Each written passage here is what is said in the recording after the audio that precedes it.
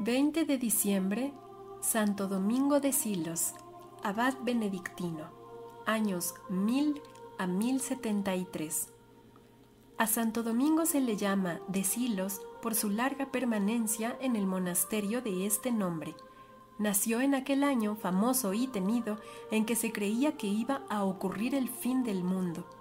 El año 1000 vio la luz de este niño destinado a ser una de las principales glorias de España. Descendía de familia nobilísima, pues traía su origen de los señores de Vizcaya y de los reyes de Navarra. Su padre, don Juan Manso, residía en la villa de Cañas, diócesis de Calahorra, en la región de Castilla la Vieja llamada La Rioja. No mencionan los historiadores el nombre de su madre. No cabe duda de que era de noble linaje como su esposo y que ambos sobresalían por su rara piedad y su ejemplar vida cristiana. Aquellos virtuosísimos consortes criaron a su hijo muy cristianamente. Por otra parte, era el niño de índole grave y formal que le inclinaba naturalmente a estudios superiores. No obstante la elevada condición de sus padres, tenía Domingo aficiones propias de personas sencillas y modestas. Ya en su temprana edad manifestó su amor al retiro, pidiendo a su padre que le dedicase a guardar el rebaño. Hubiérase dicho que el Señor quería llevarle a la soledad para hablarle más libremente al corazón y sobre todo para conservar la inocencia del que destinaba a ser su apóstol y amigo predilecto. Pasados cuatro años en tan humilde oficio, empezó a estudiar por mandato celestial y fue su maestro el mismo Espíritu Santo. Fácil es juzgar de sus adelantos en las ciencias divinas y humanas. Se ordenó sacerdote y vivió con sus padres para los que fue en breve lumbrera y modelo de virtudes. Su vida era santísima, guardaba inmaculada la inocencia bautismal y se entregaba sin piedad a durísimas penitencias. Pronto le pareció que aún la misma soledad a que tanto se aficionara no se hallaba exenta de peligros, por lo que además de consagrarse al sacerdocio de que se veía investido, buscaba otro campo de apostolado. Sentía en sí como el impulso de una gracia que anhelaba comunicarse. En la orden benedictina, prior de San Millán, revolvía sin cesar estos pensamientos en su mente con el deseo puesto en una vida más perfecta cuando tuvo de improviso la inspiración de acogerse al famoso monasterio benedictino de San Millán de la Cogulla, distante solo a una legua de la villa de Cañas y perteneciente también a la diócesis de Calahorra. Vivían en San Millán religiosos muy observantes. Modelo de todos fue Domingo a poco de su admisión entre ellos. Cerca del magnífico monasterio todavía se ve la cueva a donde se retiraba Domingo para entregarse a penitencias que asustan.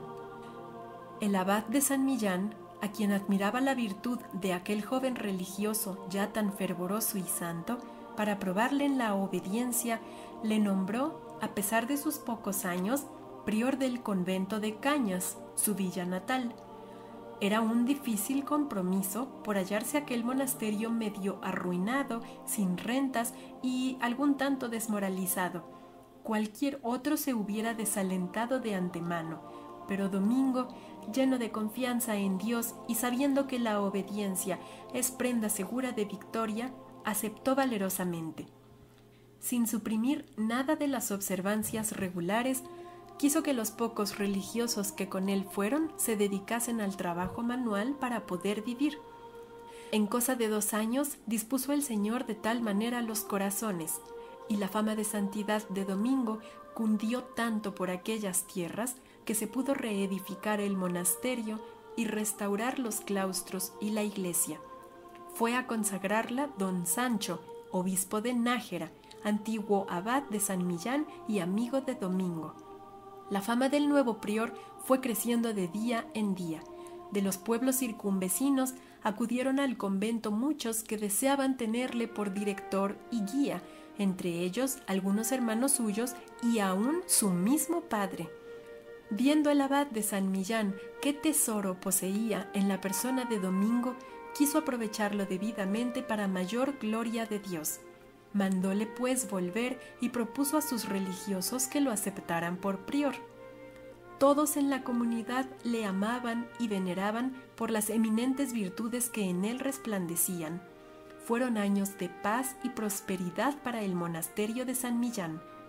Envidioso de ello el demonio, y previendo el inmenso bien que obraría el Señor por medio de tan santo varón, desencadenó sobre el convento una violenta tempestad de adversidades y persecuciones.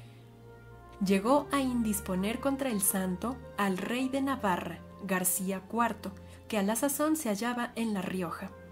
Por un fútil pretexto, determinó este príncipe usurpar la abadía de San Millán, afligióse Domingo con tan injustas reclamaciones y dio pasos y más pasos para detener al rey en la pendiente fatal por donde peligraron resbalar los monarcas de todos los tiempos. Hízole presente que ningún magnate del mundo, sea cual fuere su poderío, puede apropiarse los bienes eclesiásticos por estar consagrados al servicio de Dios y al alivio y sustento de sus siervos y de los pobres, poco impresionaron al rey todas estas razones, en vista de lo cual, y porque el príncipe llegó a las amenazas de las que presto hubiera pasado a la ejecución, partió Domingo para Burgos, donde se hallaba a la sazón el rey de Castilla, don Fernando I. Este príncipe le acogió con el respeto y veneración correspondiente a la fama de santo que había precedido a Domingo en la corte, hizo justicia a las reclamaciones del prior y cedióle además un terreno que nadie podía reclamar y que Domingo pidiera para retirarse. Este lugar era Silos, monasterio cuya fama creció extraordinariamente desde que el santo lo embalsamó con la fragancia de sus virtudes. Aseguran algunos autores que el siervo de Dios permaneció en Burgos el tiempo necesario para edificar un convento de la orden cerca de los agustinos, en un valle llamado Semela. En él cantaba noche y día las alabanzas del Señor. El lugar donde vivió Domingo es hoy día la ermita de la Magdalena, que aún a principios del siglo XIX dependía del monasterio de Silos abad de Silos. Se cree que fundó este monasterio benedictino el rey Recaredo por los años de 593 y lo dedicó a la Virgen y a San Sebastián. A él llegó Domingo el día 24 de enero de 1041. A raíz de la invasión musulmana, este célebre convento había decaído de su pasada gloria. Tanto arraigaron en él los abusos y desórdenes que el rey don Fernando, como don Jimeno, obispo de Burgos, juzgaron que sólo Domingo podía remediar sus males. Fue pues allá el santo monje acompañado de varios personajes de la corte de Castilla. Aquel día cantaba la misa otro santo religioso llamado Fray Liciniano, que hacía tiempo vivía afligido por la decadencia del monasterio. Volvióse al ofertorio de cara al pueblo y en vez del Dominus Vobiscum cantó movido de repentina inspiración sobrenatural, Ya viene el restaurador, a lo que el coro respondió inspirado también, El Señor nos lo envía. Autorizó el cielo esta confusión de oraciones litúrgicas, porque al entrar domingo en la iglesia, todos le vieron rodeado de resplandeciente aureola, lo que les determinó a consagrarlo como nuevo abad. Mostrándose acabado ejemplar de virtudes, dio principio Santo Domingo a la reforma del monasterio. La santidad floreció otra vez en Silos como en los días de mayor fervor, al tiempo que amanecía para esta abadía una nueva era de prosperidad material, se daba comienzo a la construcción de una magnífica iglesia que había de perdurar hasta mediados del siglo XVIII. Visión de las tres coronas Quiso el Señor cierto día llenar de gozo a su siervo con una visión consoladora en extremo. Mostróle un río del que salían dos arroyos. Por uno corrían aguas blanquísimas como la leche y por el otro rojas como la sangre. Había sobre el río un puente de cristal de apenas palmo y medio de ancho.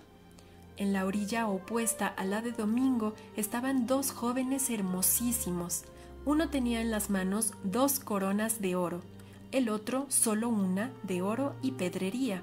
El primero le decía que pasase el río, pero Domingo alegaba la dificultad de hacerlo por un puente tan estrecho. No temas, repuso la visión. El abad de Silos cobró confianza y cruzó el río. Al llegar a la otra orilla, díjole el enviado de Dios, Mira las dos coronas que te traigo, porque las has merecido. ¿Y cómo pude yo merecer premio de tan celestial mensajero? La primera corona, respondió el embajador celestial, te la envía el Señor porque menosprecias los bienes del mundo. La perseverancia te asegurará el gozar de ella eternamente. La segunda, porque restauraste el convento de Nuestra Señora de Cañas para honrar a la Virgen, y porque has guardado fielmente la castidad recibirás la tercera corona, que es la más preciosa, si reformas el monasterio de Silos y le devuelves su antiguo esplendor, y por todas las almas que ganarás para Cristo. Si cumples fielmente hasta el fin con la misión que te tiene encomendada, gozarás eternamente con nosotros de estas tres coronas. La visión desapareció al día siguiente, Domingo refirió cuanto había visto a algunos monjes con quienes tenía más intimidad por ser más virtuosos. Hallábase entre ellos Fray Grimaldo, que escribió la primera vida del santo abad y trae en ella el relato de este suceso. Solo más adelante, añade, vimos con el significado de esta visión. En poco la tuvimos hasta que el espíritu profético y los milagros de Domingo nos la mostraron como verdadera y digna de crédito. Estas tres coronas se hallan reproducidas en el escudo de Silos y en muchos lugares del monasterio y de la iglesia. Los reyes de España favorecieron de mil maneras al convento que Domingo gobernaba tan santamente. Don Sancho le hizo donación del priorato de Nuestra Señora del Duero con todas sus pertenencias y don Alfonso VI le cedió el monasterio de San Martín de Madrid y la parroquia aneja al mismo con la jurisdicción civil y criminal sobre todos los feligreses. Gracias a la liberalidad de los reyes y de otros nobles, logró Domingo restaurar la iglesia, el claustro y el monasterio de Silos, el cual constituye un monumento realmente grandioso, imponente y único por su valor artístico. Virtudes y caridad con los cautivos.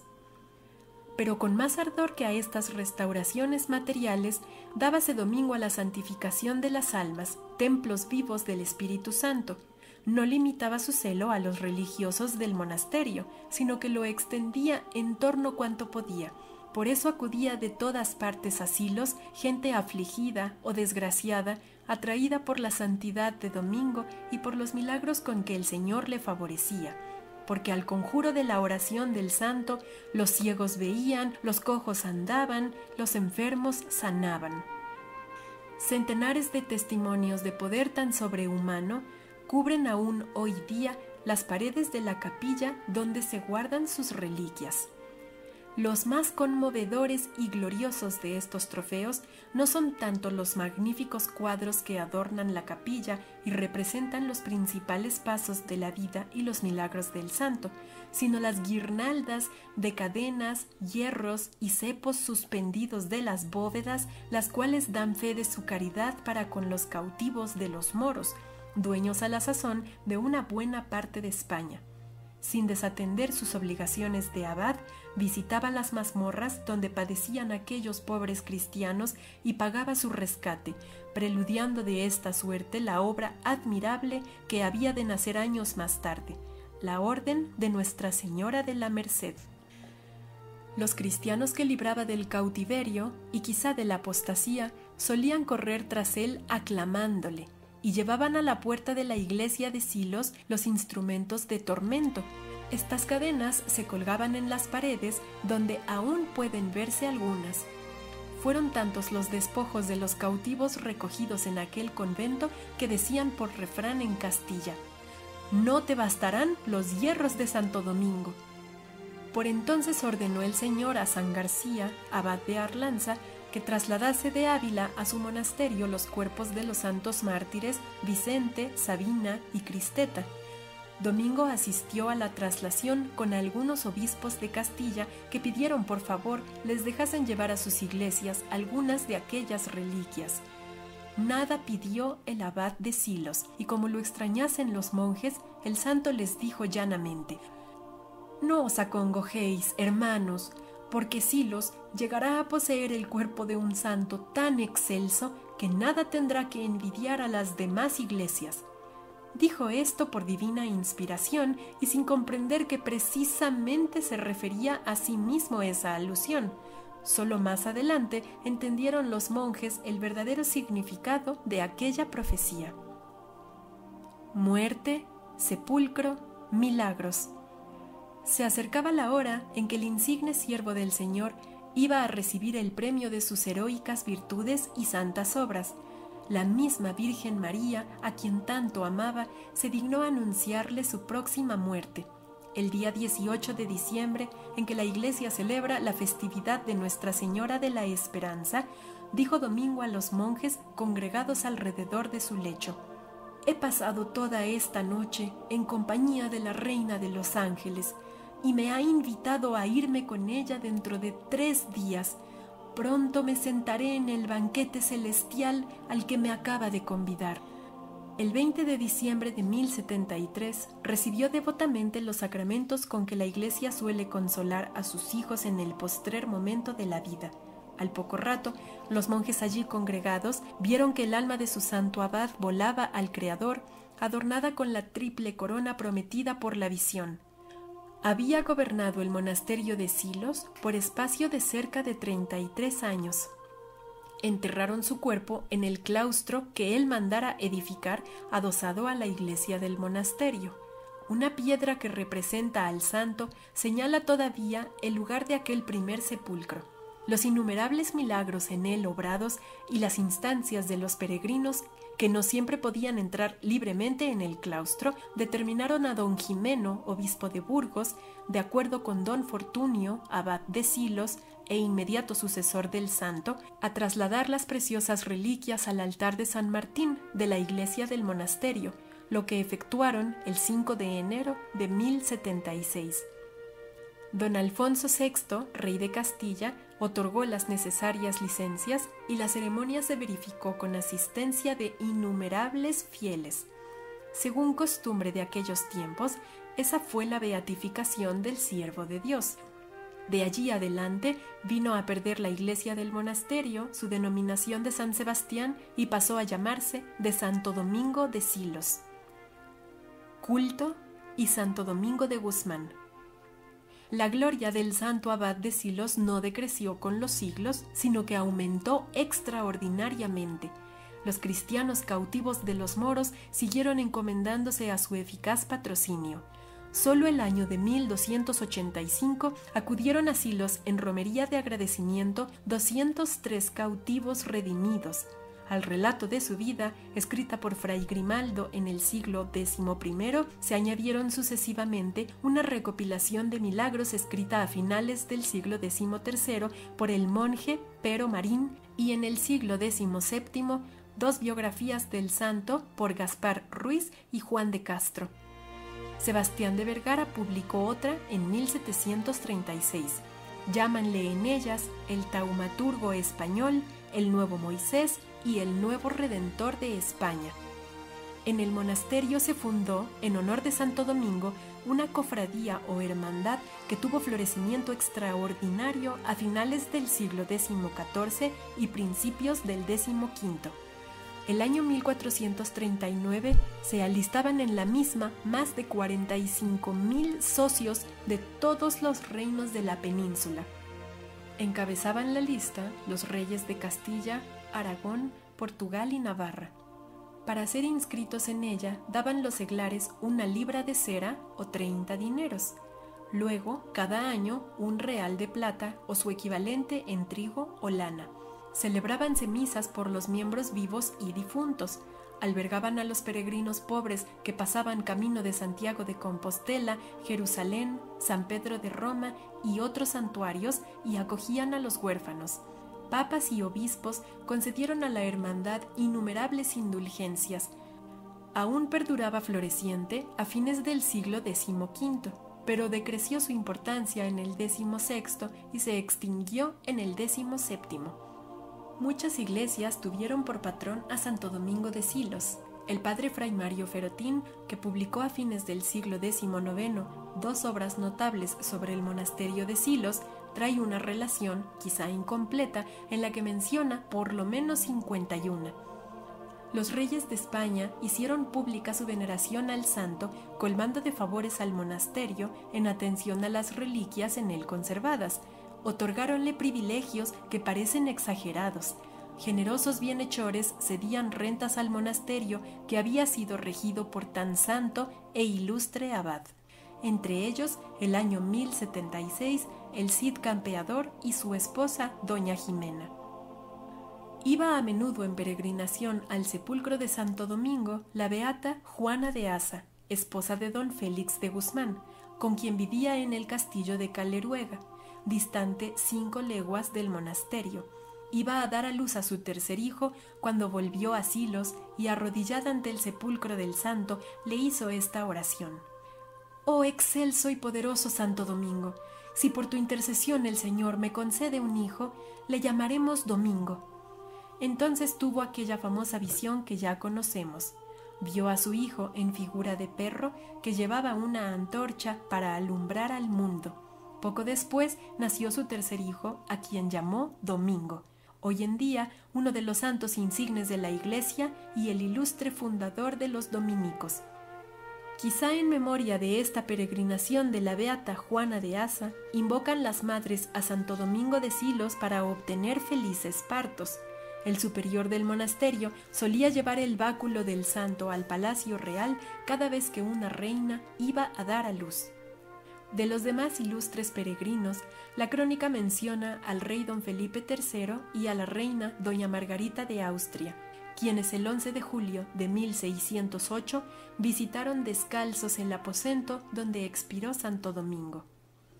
Traslado de las reliquias.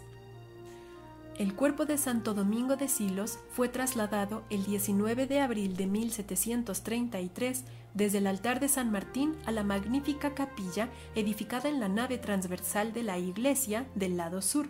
Allí está encerrado en una urna de plata colocada a tres metros del altar. Con ocasión de este traslado, permitió el Papa Clemente XII que se inscribiera el nombre de Santo Domingo de Silos en el martirologio romano con estas palabras, famosísimo por razón de sus milagros en la redención de cautivos.